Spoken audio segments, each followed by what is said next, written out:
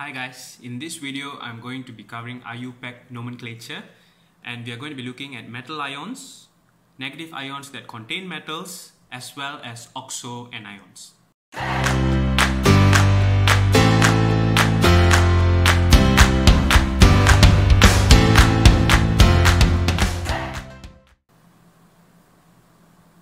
Now before we get into IUPAC nomenclature, you need to know what IUPAC is. Oh, it's good to know what IUPAC is. So IUPAC is actually International Union of Pure and Applied Chemistry.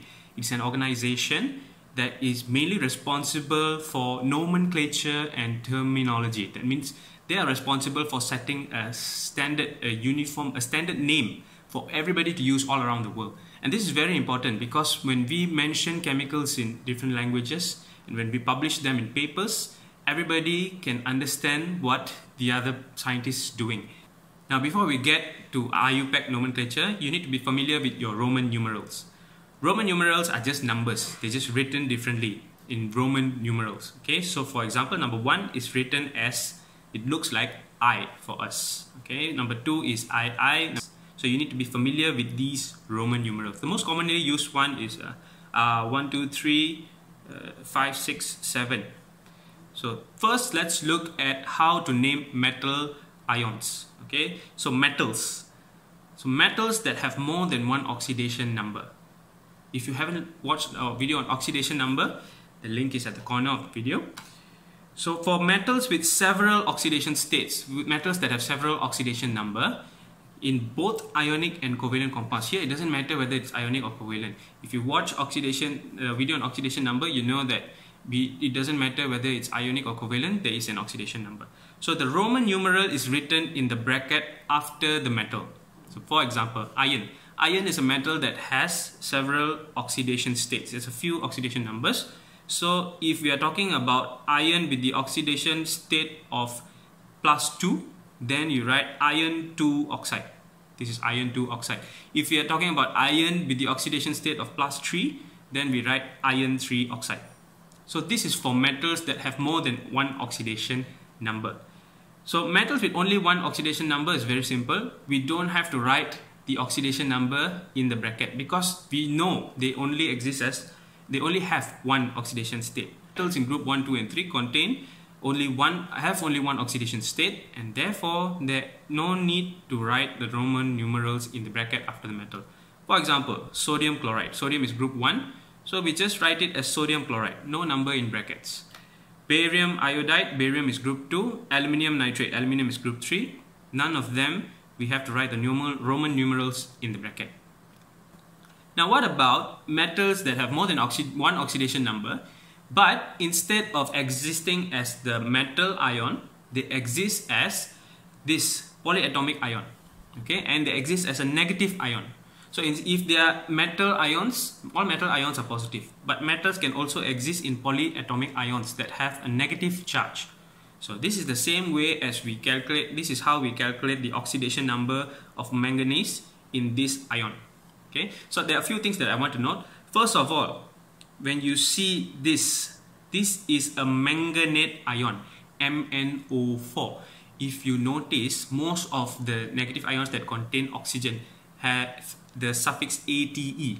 For example, sulfate, nitrate, uh, chlorate, manganate, chromate. So all these that have oxygen, they generally, this is not a hard and fast rule, just for you to notice something. Generally, they have oxygen mixed with the metal. Okay, so for this one, it is manganate. Manganate consists of manganese, and oxygen. So this ion consists of manganese and oxygen. It's called manganate. Now, we know that manganese is a transition metal. Manganese can exist and in several oxidation states. So it has several oxidation numbers. So in order to differentiate them, we have to include the Roman numeral in the bracket. So from this calculation, this calculation, I've shown this example in the video on oxidation numbers. So in this example, we have calculated the oxidation number of manganese to be plus 7. And so this ion, this polyatomic ion is known as the manganate 7 ion. Because the, the oxidation number of manganese here is plus 7. So even in negative ions, if there are metals with more than one oxidation number, you have to write the, the oxidation state of the metal in Roman numerals in a bracket after the ion. Now this is also a manganate ion, but this time the charge is 2 minus. So when we calculate, we find the oxidation number of manganese in this manganate ion is plus 6.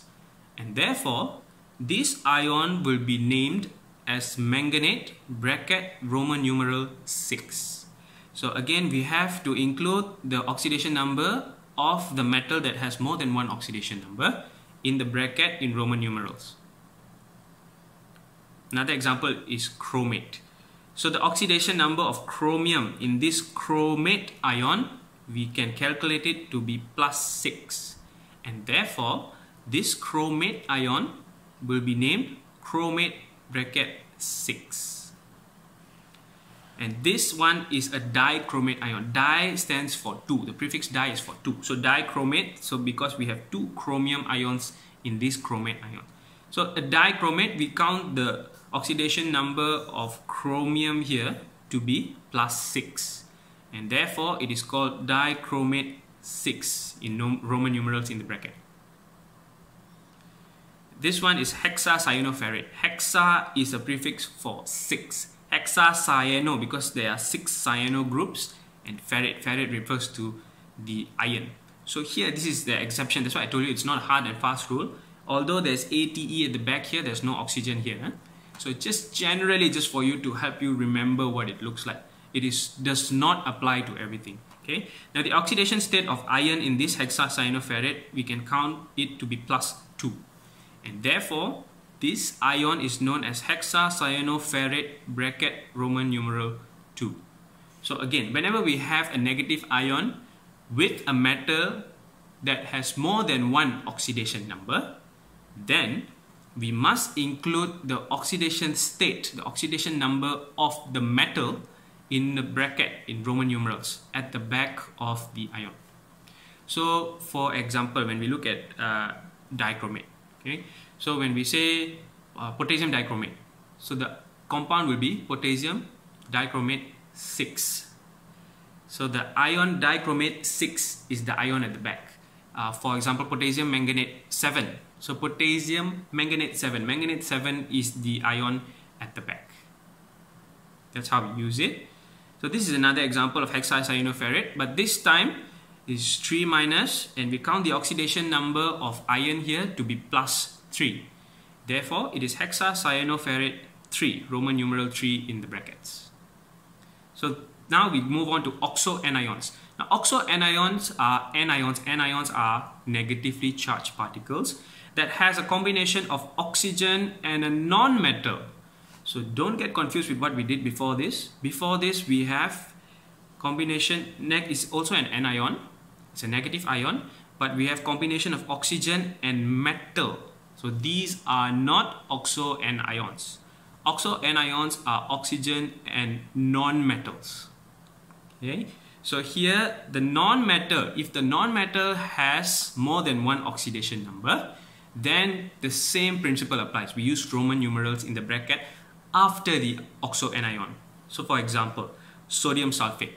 So in this compound, sodium sulfate, the sulfate here, the oxidation number of sulfur in the sulfate oxo anion is plus 6. Okay, we can calculate it to be plus 6.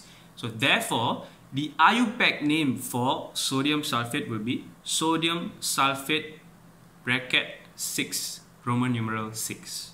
Okay, for this one, this is also SO, but this is SO3.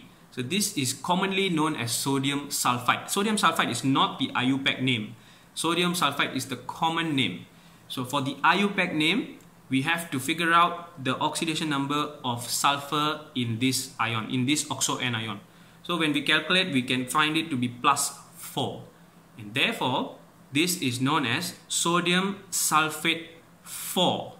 Its IUPAC name is sodium sulfate 4. So notice that normally when we say sodium sulfate, the common sodium sulfate, the common sulfate ion is SO4 1 minus. Okay, however, uh, 2 minus, sorry. However, This is also sodium sulfate, but the oxidation number is stated at the back is 4. So this is sulfate 4 and this is sulfate 6. It depends on the oxidation number of sulfur. This is the IUPAC name. For the common name, sodium sulfate 6 is commonly known as sodium sulfate, but sodium sulfate 4 is known, known as sodium sulfite. This is the common name. Look at nitric acid. So this is very common, nitric acid, very commonly used chemical in the labs. So oxidation number of nitrogen here, when we calculate, can be found to be plus 5. And therefore, this is a nitric 5 acid. A nitric 5 acid, not simply nitric acid. When we compare to HNO2, the common name for HNO2 is nitrous acid. However, when we use IUPAC nomenclature, we need to figure out the oxidation number of nitrogen in this oxo anion, in the, this oxo anion. So we find it to be plus 3. And therefore, this is called nitric 3 acid because the oxidation number of nitrogen here is plus 3. That is all for this video. I hope you've learned something today. And if you have, please hit the like button and subscribe. See you in the next video.